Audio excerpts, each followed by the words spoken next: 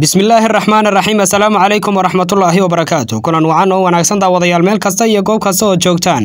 Kusoo dhowaada warkii arabsiya news qodobada daawan doontaan waxaa ka mid ah. Bangiga adduunka ayaa welwel ka muujiyey dibudhaca doorashada soomaaliya inuu meesha ka saaro deen cafin la siin lahaa soomaaliya. Ruushka oo kumanaan dad rayid ah qasab uga raraya dhulkiisa.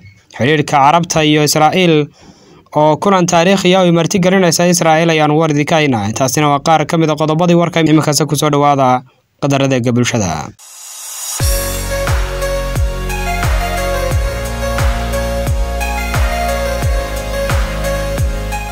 Ma ka mid tahay xoolodhaqatada soomaalida ee doonaya inay dar yeelaan xoolahooda? Inaad xoolahaaga u hesho calaf nafaqa leh oo qiimihiisu uu jaban yahay waddanka gudihiisana diyaar kugu ah. Hore gaadh warshadda borderi milis oo soo saarta daqiiqda iyo calafka xoolaha waxaana diyaar ku ah xaddi badan oo calafka xoolaha oo nafaqaysan oo loogu talagalay dadka xoolodhaqatada soomaalida. Haddii aad doonayso calafkaasi nafaqada leh ee qiimihiisu uu jaban yahay hore u gaadh borderi milis duleedka galbeed ee magaalada hargeysa gaar ahaana deegaanka abaarso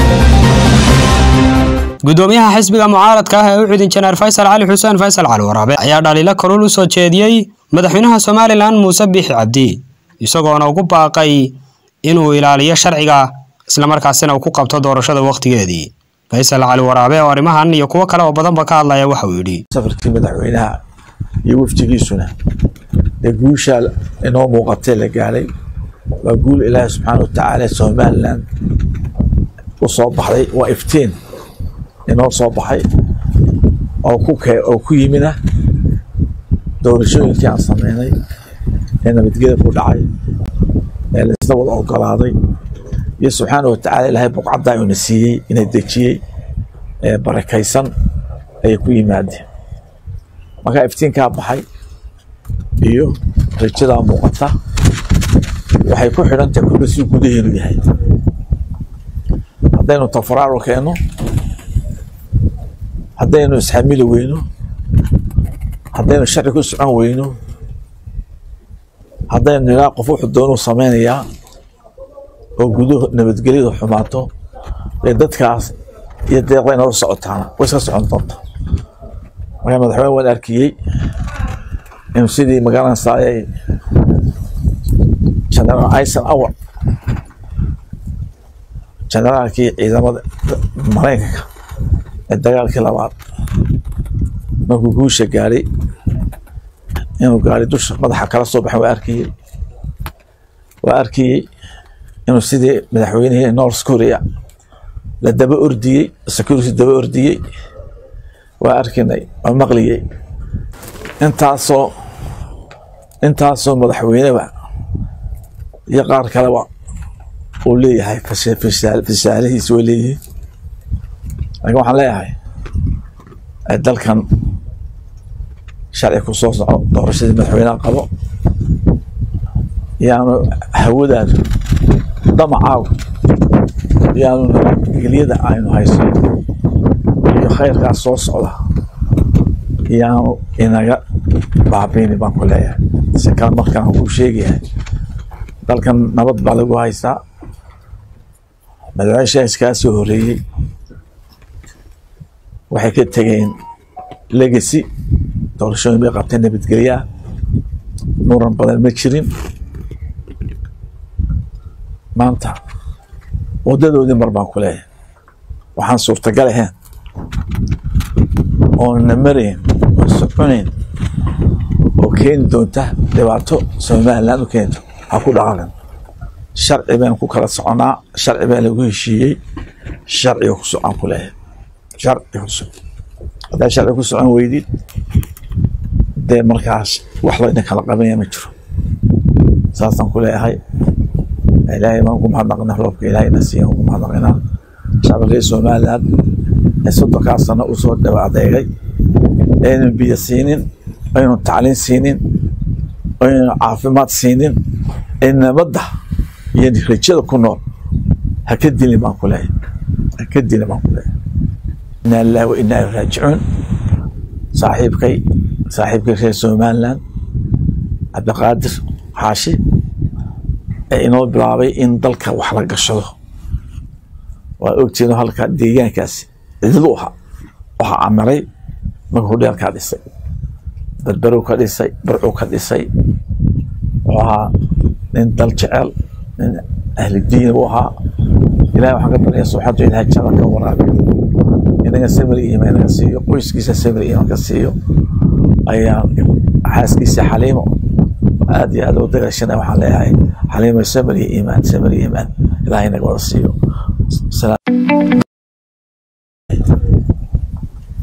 Haddaynu tafaraaro keenno haddaynu isxamili weyno haddaynu sharci ku socon weyno haddaynu ilaa qof wuxuu doonuu samaynayaa oo guduhu nabadgelyadu xumaato ee dadkaas iyo deeqday nala socotaana way iska socon doonta markaa madaxweyne waan arkiyey inuu sidii magaranaysaayay generaal aisan awar generaalkii ciidamada maraykanka ee dagaalkii labaad markuu guusha gaaray inuu gaari dusha madaxa kala soo baxay waa arkiyey. Waa arkiyey inuu sidii madaxweynihii north korea la daba ordiyey security daba ordiyey. Waa arkinay waa maqliyey. Intaasoo intaasoo madaxweyneba iyo qaar kaleba uu leeyahay fisaalihiis way leeyihiin. Laakiin waxaan leeyahay dalkan sharci ku soo soco doorashadii madaxweyneha qabo. Yaanu hawadaadu damacaagu yaanu nabadgelyada aynu hayso iyo khayrkaas soo socda. Yaanu inaga baabiini baan ku leeyahay. Si kale markaan kuu sheegayahay dalkan nabad baa lagu haystaa madaxweyne shaaskaa soo horeeyey. Waxay ka tegeen legacy. Doorashooyin bay qabteen nabadgelyaa muran badan ma jirin maanta. Wadadoodii mar baan ku leeyahay. Waxaan suurtagal ahayn oona marayn oo soconayn oo keeni doonta dhibaato somaliland u keento. Ha ku dhaqaaqan sharci baan ku kala soconaa sharci baa lagu heshiiyey sharciga ku socon ku leeyahay. Sharci ku haddaa sharci ku socon weydid dee markaas wax laydin kala qabanaya ma jiro. Ku leeyahay ilaahay baan ku mahadnaqnaa roobka ilaahayna siiyan ku mahadnaqinaa shacabka reer somaliland ee soddonkaa sano u soo dhaba adeegay. Aynan biyo siinin aynan tacliin siinin aynan caafimaad siinin. Ee nabadda iyo rajada ku nool ha ka dilin baan ku leeyahay ha ka dilin baan ku leeyahay. Inaa lillahi wa inaa ilaihi raajicuun. Saaxiibkay saaxiibkay reer somaliland cabdiqaadir xaashi ee inoo bilaabay in dalka wax la gashado. Waa ogtiino halka deegaankaasi cidlu ahaa. Waxaa camiray markuu dheelkaa dhisay berberow ka dhisay barcuu ka dhisay. Wuxuu ahaa nin dal jecel nin ahli diin buu ahaa. Ilahay waxaan ka baryaa subxaantu ilahay jannada ka waraabiyo inaga samir naga siiyo qoyskiisa samir iimaan ka siiyo. Ayaa xaaskiisa xaliimo aad iyo aad u dagashana waxaan leeyahay xaliimo samir iyo iimaan samir iyo iimaan ilahay naga wada siiyo. Agaasimaha bangiga adduunka ee soomaaliya christina svenson ayaa muujisay welwelka laga qabo dib u habeynta dhaqaalaha ee la bilaabay tan iyo labadii kun labaatan laga yaabo inay meesha ka baxdo haddii aanu dowlad cusub si dhaqsaa loo soo hirgelinin. Christina svenson oo la kulantay safiirka maraykanka ee soomaaliya larry anderi ayaa la wadaagtay walaaca laga qabo in dibdhaca qorshaha dib u habeynta dhaqaalaha uu keeni karo. In taageerada maaliyadeed ee caalamiga ah iyo deen cafintu ay istaagaan. Hay'adda lacagta adduunka ee i m f ayaa dhowaan sheegtay in barnaamijyada hay'adda lacagta adduunka ee i m f ee soomaaliya ay ka joogsan karaan saddex bilood gudahood haddii ay dhacdo. Dibidho cusub oo ku yimaada doorashooyinka muqdisho. Doorashada soomaaliya oo hadda gabagabo maraysa dhammaystirka xildhibaanada aqalka hoose lama oga goorta la qabanayo doorashada madaxweynaha. Dowladda federaalk ee soomaaliya ayaa bil walba lacag dhan toban milyan ku bixisa kharashaadkeeda mudnaanta u leh sida mushaaraadka ciidanka dowladda iyo shaqaalaha rayidka dhammaan dhaqaalahani waa taageero ay soomaaliya ka hesho dhinaca dibadda.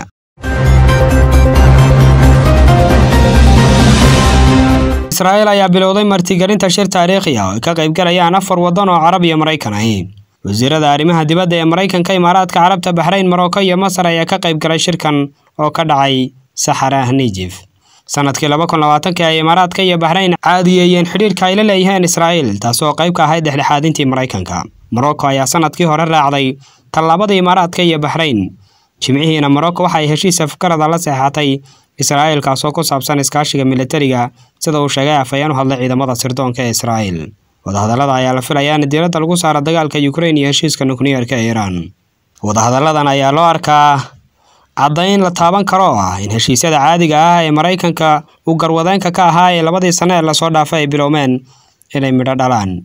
Oo markii u horreysay oo israa'iil martigeliso saraakiil sarsare oo carabeed oo aada u tiro badan taasoo muujinaysa sida ay isugu soo dhoweynayaan danaha xulafada maraykanka ee bariga dhexe sida uu sheegay. Warbaahinta ka soo warramaysa qudus washington ayaa ku cadaadin doonta taageero dheeriya oo ku bixiso dadaalada ay ku doonayso inay ku go'doomiso ruushka taasoo dhinacyo badan oo gobolkan ka tirsanin. Ay ilaa hadda ka gaabsadeen joogitaanka ciidamada ruushka ee ukrain iyo sidoo kale walaaca ku saabsan qamadida laga keena labada dal ee wada dagaalamaya dhanka kale israa'iil iyo dalalka carabta ayaa shirka ka qayb galay ayaa walaacooda muujin doona xidhiirka maraykanka iyo quwadaha kale ee caalamku ayuu muuqdaan inay qarka u saaran yihiin inay heshiis cusub oo nukliyeerka kala saxeedaan iiraan.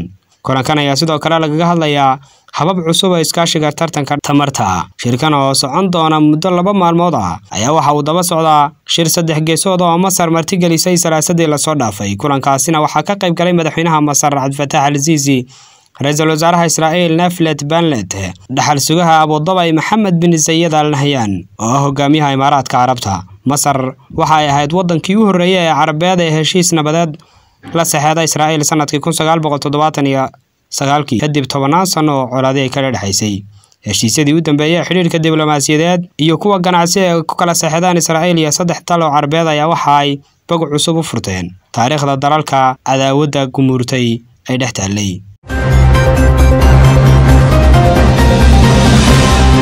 ukrain ayaa ku eedaynaysa ruushku inuu si qasaba kumanaan qof oo rayda uga raray magaalada mariabal oo ah magaalada kedle oo muhiim ah oo ay burburiyeen duqaymaha ruushku halkaasi uu ku ganayo ruushka ayaa xeryo kumeel gaadha u samaystay dad gaadhaya shan kun oo qof waxaana ay ku yaalaan bariga mariabal xeryahan ayaa lagu arkay sawiro lagu qaaday dayax gacmeed.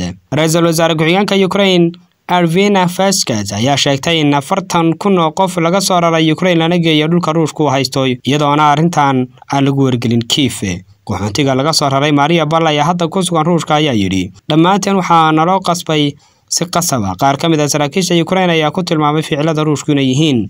Mustaafiriin in dhinacyo dagaalamaya ay si qasaba dad rayida dhulkooda uga raraan ayaa xadgudub ka dhana xuquuqda insaanka ku dhowaad ku dhowaad boqol iyo afartan kun oo rayda ayay u suurto gashay inay ka baxsadaan godoominta mariabal halka boqol iyo toddobaatan kun oo kalena ay weli halkaasi ku xidhan yihiin. Waxaana sidaasi sheegtay mas'uuliyiinta magaalada. Duqaymaha aan kala joogsiga lahayn ee ruushku ku hayo in ka badan saddex toddobaad magaaladan ayaa dhaliyay burbur badan iyadoo duqaymuhu ay dadka shacabka ku abuureen argagax sababay inay isku qariyaan meelo kala duwan oo ay baqaara ku jiraan islamarkaasina waxay cunaan iyo waxay cabbaan aanay jirin warbaahintu si madax bannaan uma xaqiijin karta tirada dadka rayidka ah ee laga soo daadguraynayo mariabal iyo tirada lagu dilay halkaasi tiro yar oo dad rayida ayaana ka cararay mariabal kuwaasoo isticmaalay marinada bini-aadantinimo ee labada dhinaci ay ku heshiiyeen.